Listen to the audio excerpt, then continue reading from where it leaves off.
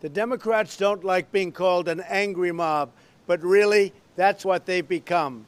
They've gone so far left, they can't even believe that they're over there. They don't know what's going on. When you listen to Eric Holder talking about kicking, When they go low, we kick. or Hillary Clinton saying what she said, which was so horrible, You cannot be civil. they just don't see it. Maxine Waters constantly, day in and day out, ranting and raving. on them and you tell them they're not welcome. They're losing it, and they shouldn't be. We should be a unified country.